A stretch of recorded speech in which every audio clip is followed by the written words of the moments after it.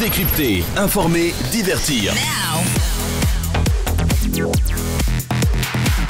Tout se passe sur vl-media.fr et sur ton app VL.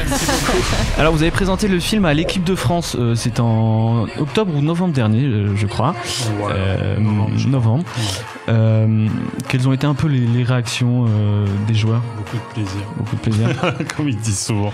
Non, non, non. Benjamin Mendy a, a bien rigolé. Non, il était, il était pas là, Benjamin Mendy. Évidemment. Il était déjà blessé. Le...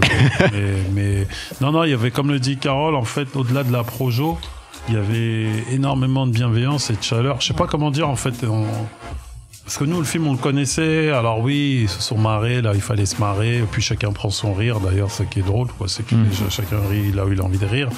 Donc, mais en même temps, nous, on a été marqués parce que euh, parce qu'en fait, c'est un vrai groupe, quoi.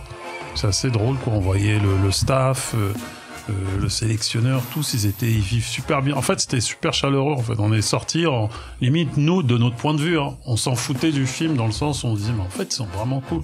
C'est pas, non, mais c'est pas du hasard. Ouais, c'était une découverte de Ouais, l'intérieur. c'était euh, pas, c'était Ouais. pas le truc euh, comme on a vu à la télé où on se dit putain en vrai, oh là là, c'est une armée de connards, c'est sans vivable.